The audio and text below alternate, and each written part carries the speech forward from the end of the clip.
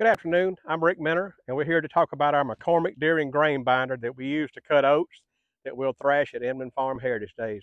First, a little bit of a history lesson. Um, early on, farmers cut their grain with a hand-cut wheat cradle, just like this.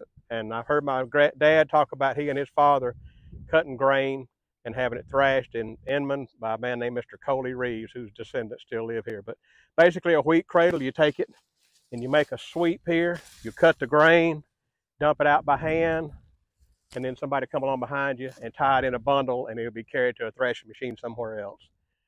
Uh, this was what a lot of people in our area used to cut their grain in pre-depression days.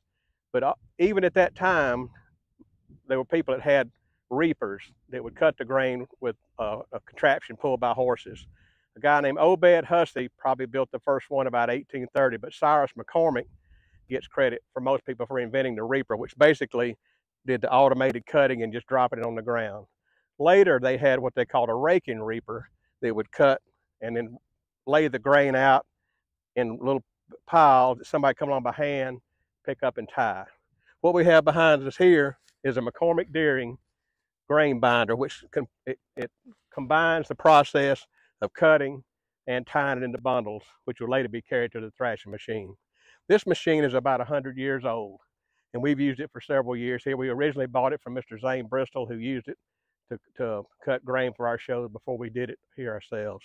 And here's a little bit about the machine I can show you right now. This is the cutter bar here, cuts the grain as you pull along.